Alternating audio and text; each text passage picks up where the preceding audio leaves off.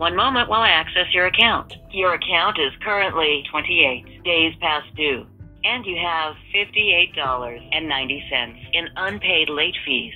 Your next monthly payment is also due on December 21st for $235.79. To speak with a representative, press 0. Thank you for calling Capital One Auto Finance. My name is Kirk. So your account, it's currently 28 days and $235.79 past due. Today's payoff amount is $4,464.71. Just, just in, can we process that payment today? Okay, I think I would like to do that. Have you had anyone else call in today to pay off their car? no, to be honest, no. Have you had anyone ever call in to pay off their car? yeah.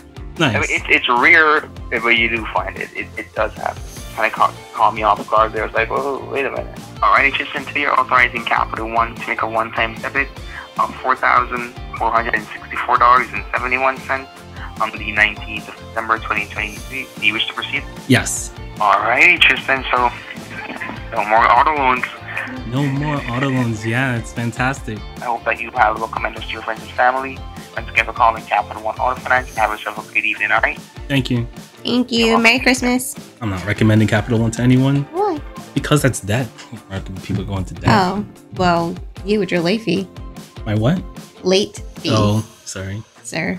It's I, I know it was there. It's Mm. being lazy. Yeah, that's 50 bucks. 60 I know. bucks. I know. But yay, debt free. well, car we're officially No car payments. no more car payments. Yes. So it's gonna help my rideshare Excited. business, and it's gonna help. It's an Right. extra what, two hundred and forty dollars, Yeah. Not including. Your late fees. Paying off your car isn't just about silencing those monthly payments. It's about grabbing the steering wheel of your financial destiny. Picture a life without car payments, where your money is the driver working tirelessly for you.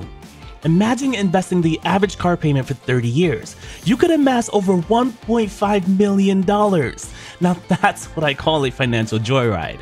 It's all about financial freedom, security, and building wealth for your dream destinations, whether it's a cozy home or retirement filled with hammocks and sunsets. Remember this money talks louder when you're debt free.